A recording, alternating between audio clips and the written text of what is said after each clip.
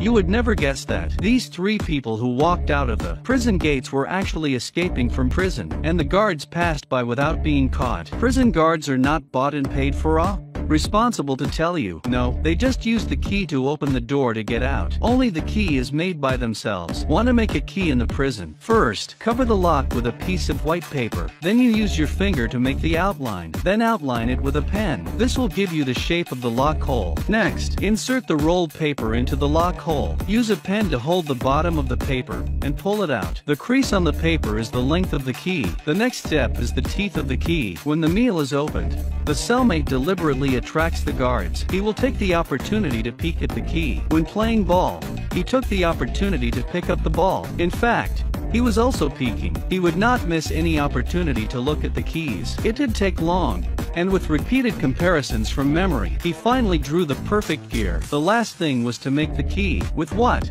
Prison inmates will be placed in the processing plant to do the work. Harry rolled the collected strips of wood and sandpaper, hidden in the bottom of the kettle. Then came the hardest part. At the end of each day's work, the guards would check the kettle. Knock, knock, knock, pour some away. It was Harry's turn. He looked extra nervous.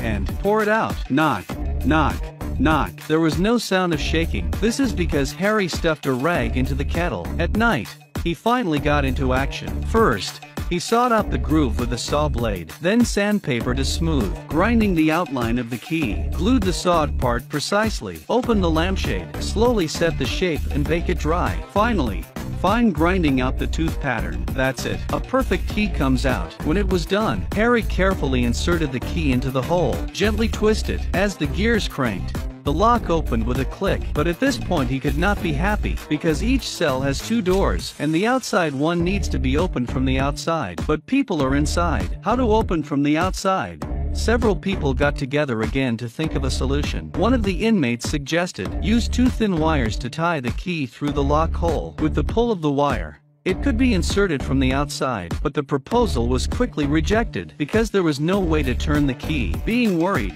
when Harry looked up and saw a broom, the broom is in every room, and it was just the right length, so there was only one problem. That was how to turn it. That day, Harry, who was in the fabrication shop, saw the handwheel. He came up with a solution. Drill two holes in the board, drill one at the end of the broom, bolted it together and inserted the key on one side, thus a manual rocker is made. At night, in the corridor of the prison, a stick slowly sticks out of the window, slowly inserting the key into the lock hole. One turn, one more turn, the door opened. At this point the window patrol seemed to look this way. Harry, fearing detection, pressed down tightly, but a handshake, the key fell to the floor. Oh, no, if they are found, they'll be here for the rest of their lives. In a moment of desperation, he found the gum and chewed it. Then he glues the gum, which is well mixed with saliva, to the stick. Then he stuck the key.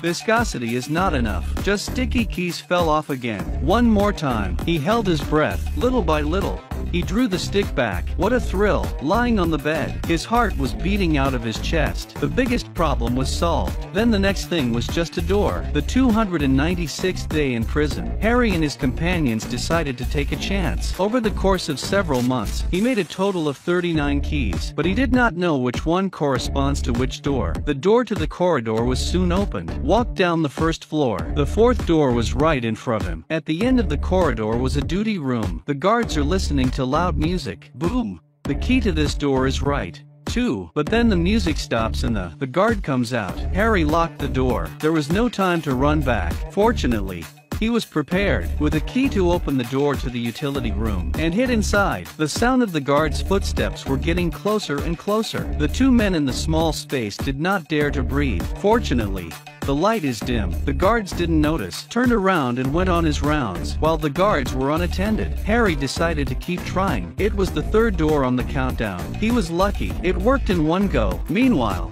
the, the guards were making their rounds to their cells. Luckily, Carrie had piled up the blankets in human form in advance to fool the guards, but the door in front of them, they tried and failed to open it several times. There was no time left. Patrol time was about to end. They had to withdraw, open the door, but also have to lock it again one by one. Just as they entered the utility room, footsteps of the guards stepped on their heads, but just then, The guards saw the beads of sweat they had left on the floor. The good thing is that although the guards were suspicious, but they didn't care. After the guards left, they went back to their cells. Early the next morning, the warden woke Harry up with a kick. It was after the assembly bell. He didn't hear it. The warden knew he must have been up all night to find out what he was up to. He went through the whole cell. All the keys were hidden by him. He hid all the keys, but only the one in the tooth jar. The warden asked him what it was for. Luckily, he was smart enough to put a picture of his parents on it. He finally got through. From that day on, Harry knew he had to get up to speed. 404 days in prison. He made 39 keys out of wood, 15 gates, and the last two, but they were stumped because they couldn't use the key for this door. The switch for the door was in the watch room. That day, Harry was out for a dental appointment. He saw a new watchtower being built outside the gate. Once it was built, they would not be able to get away. It was time to get moving. That night they were making their final preparations, but except for two inmates, no one else wanted to participate. The bell rang. The guards left at the end of their shift. Only one guard was left on duty, and a distant tower on patrol. The time has come. He opens the gate in a familiar way and let out two more companions. For this day,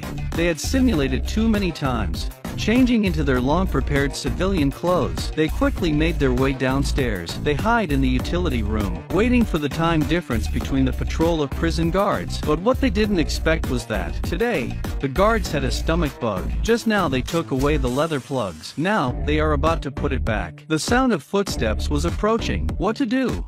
At a critical moment, the cellmate upstairs opened the lampshade. He smashed the light bulb. This caused a short circuit in the wiring. There is no choice but to go upstairs to solve the problem. Harry pushed the door out. With the opening of the electric gates, now there was only one last one left. They were only one step away from success. It was a door they had never opened before. They tried the keys one by one, but until the last one, the door still didn't open. Harry said they had to go back and think about it, but the cellmate was not willing to do it he decided to violently dismantle it. The sound of chiseling resonated through the corridor. Harry was in a hurry.